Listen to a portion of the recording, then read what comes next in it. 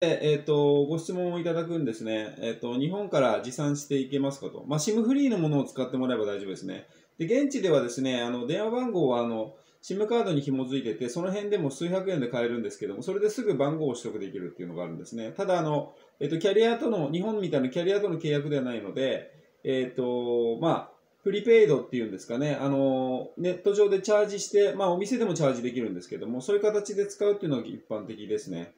で、iPhone も Android もですね、SIM フリーのものであれば日本から持っていけばいいと。で、現地で買う場合ですね、あの、ASUS っていう台湾のメーカーの全フォンっていうのは結構安くて、えっ、ー、と、性能がいいというのがあるので、まあ、個人的にはおすすめかなと思うんですけど、現地でも買えますし、OPPO とかはちょっとやめた方がいいかなっていう思いますね。あの、トラブルとかそういう、えっ、ー、と、故障とかそういうのの関係で。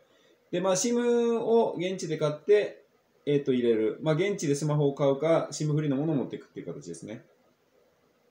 で、セブ島です